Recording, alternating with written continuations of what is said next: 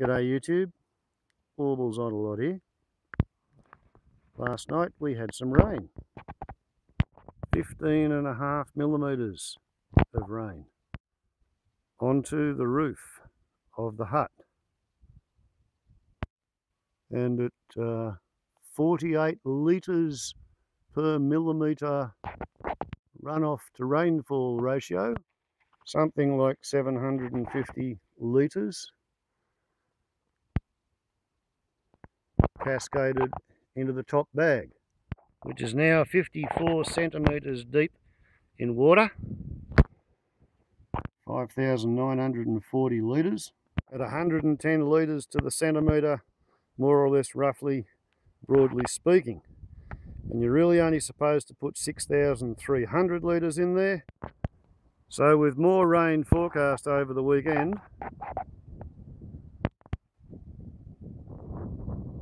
low clouds on the horizon, dark clouds upwind.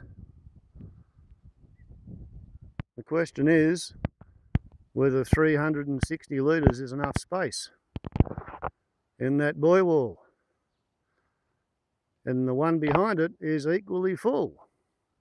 So now strikes me as a good time to transfer about four and a half centimetres or 500 litres of water across to the repaired bag on the new pad. The major repair isn't perfectly watertight. It's seeping a bit, but the theory is that as more water goes into the bag, there will be more pressure from the water pushing the patch onto the sutured bag wall and perhaps the more water is in the pool then the better the repair will hold. So that means using the 3 horsepower water pump and the firefighting hose which will be good practice at getting to know the pump. I might even get to be able to measure its fuel consumption and its flow rate because both are a function of what's going on with the nozzle, which gives you a variable pressure with four click settings, as well as a variable stream. Narrowest possible stream gives you your maximum distance with the highest possible pressure, but you only get around about 35 litres per minute. What I want to do today is run it about a quarter of a turn opened up, so instead of a narrow stream I get a slightly divergent flow and also back off the pressure one click and make it easier for the pump to push the water out through the nozzle. And then if I run the pump for 10 minutes, I can measure the depth of that pool and see how it's come down from 54 centimetres, measure the depth of that pool and see how it's come up from 11.5 centimetres, and then refill the tank and see how much fuel it took to do it. And that should tell me how much time and how much fuel it's going to take to put about half of one of those Buoywalls, aka 3,000 litres or 3 tonnes of water, out across the half an acre, which I propose to try to defend from any approaching fire. Every thousand litres onto half an acre is the equivalent of half a millimetre of water. So if I can get three tonnes out of there, spread out across all of this, that's one and a half millimetres of rainfall equivalent and that makes this place pretty hard to burn. Like all water pumps, you have to make sure the pump's filled with water.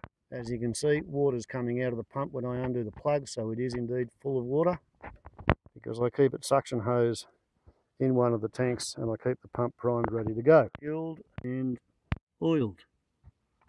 So in the event you've only got to turn the fuel on, turn the ignition on, crack the throttle a third and turn the choke on. Notice the sticky tape on the choke placard. Notice how when you stand at the back end of the engine you can read all the other placards, but the choke placard appears to be upside down. As delivered, that placard was reversed so you could read it from this direction.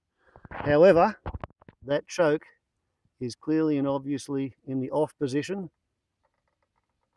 That brings it to the on position and the placard was printed backwards. And the person who uh, assembled the engine didn't know or didn't care. So Muggins here has fixed that one. This tension spring is a second modification because when you get this thing going at full throttle, if you turn the hose off at the nozzle, this little pressure mechanism overrides the throttle, backs the engine off and prevents it from blowing up the water pump. But when it does it, it manages to accidentally knock the throttle back a bit. So you lose RPM and you lose water pressure when you do go to use the hose again. So to prevent that, to hold the throttle in its full position, I've just got a tension spring there. So I'll put the camera on a tripod, show the starting procedure, and ideally it'll start right up.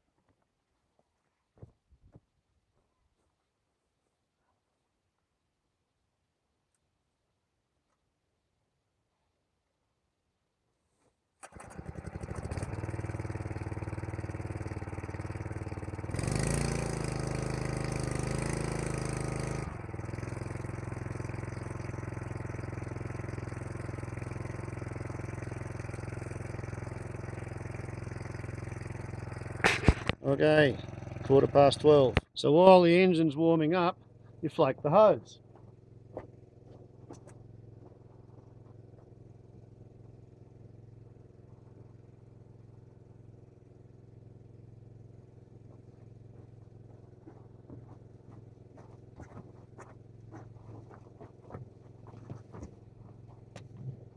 Isn't that cute?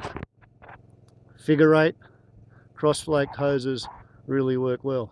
So ideally this should now be warmed up enough to run at full throttle without the choke.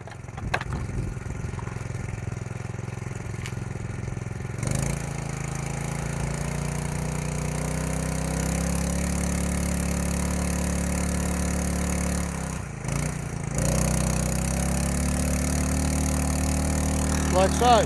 Now I'll just cycle the hose a bit and do some hosing.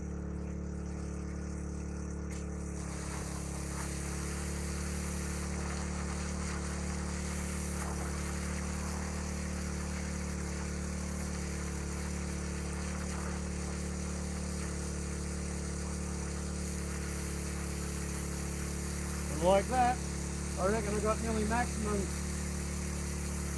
water volume.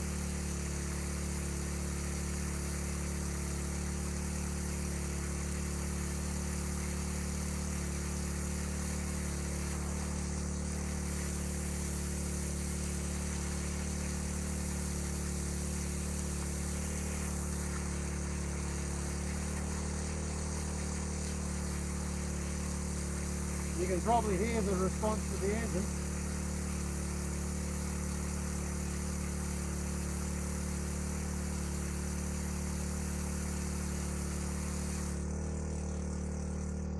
Anyway, I'll keep going with that till 10 minutes and then I'll bring you back later. Okay, I make that nearly 10 minutes.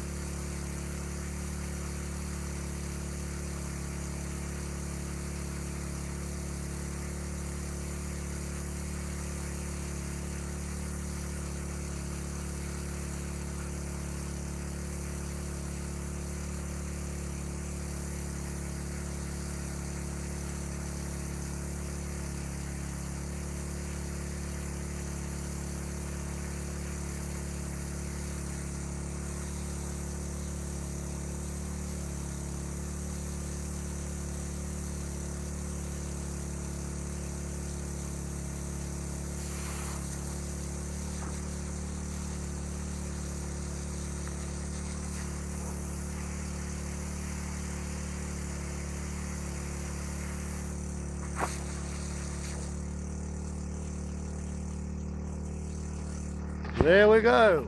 And it's hammering away.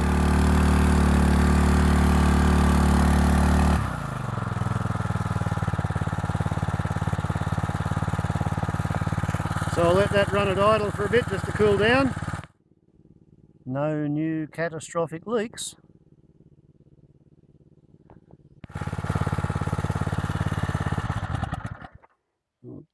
Turn this off. Well, well, well. 46 centimetres and 20 centimetres. So, 8 centimetres, 8 centimetres times 1, 1, 0, 880 litres in 10 minutes times 6 equals 5,280 litres in 1 hour, 88 litres per minute, 34 minutes to put out 3 tonnes. And I will be surprised if that's any more than half a litre of petrol. But we shall see what we shall see. Course, now it's time to replace the hose on its rack. And the easiest way to do that is just lay it back out flat again. And of course, if you need the whole hose, you do three runs up here before setting off either to the east or the west or the south or wherever you need to go. It's all pretty kind of simple.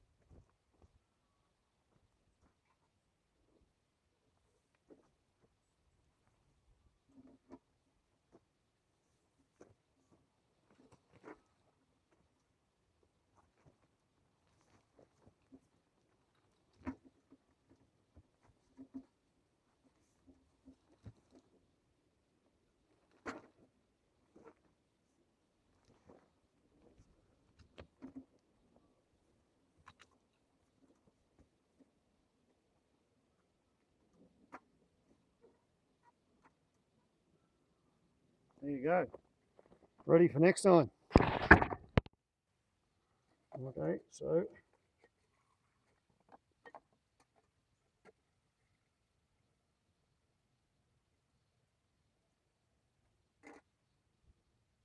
Two hundred and fifty mils.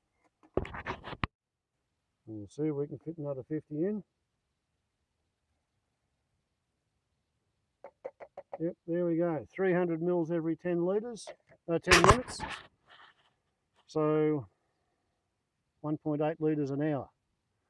There's a 1.7 litre tank and you probably only get 1.5 litres out of it. So after 50 minutes, not only are you going to have to fill the pump up with petrol, but after 50 minutes, you're going to find that you're sucking air in the Buoywall even if it was full at the time when you started. So, there we go. Now we know we can get 88 litres per minute out onto the clearing. One and a half millimetres of rain on half an acre in half an hour. So it's not such a bad little water pump after all.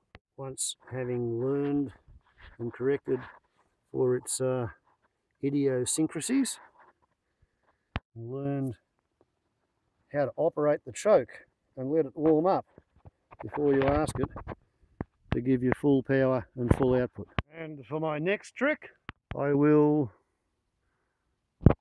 take off the old hail torn, ripped, tattered, battered ultraviolet cover from the number two pool. And briefly make it as naked as the number one pool. And then I will fit the two new ultraviolet covers which arrived this week from Clark Rubber in Dubbo who are located at 18 Cobborah Road, Dubbo. They won't have any more of these 12 foot pools in until October because that's when their summer season stock arrives.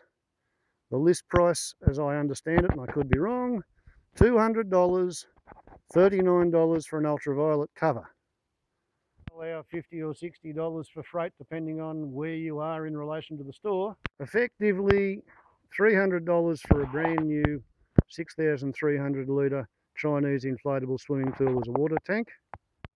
And if your water cart is anything like my water carter, it'll cost you $130 for 6,000 litres of water to fill the thing up. The pump was listed at $380.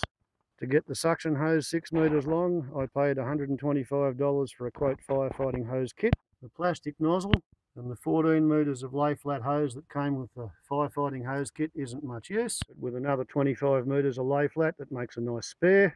$347 for a 25 millimetre 36 metre long fire reel hose with a three-way adjustable pistol grip nozzle. I make $1,282 for the pump, hose and nozzle, the tank, the ultraviolet cover and the water to put in it, which is cheaper than relying on a fire truck.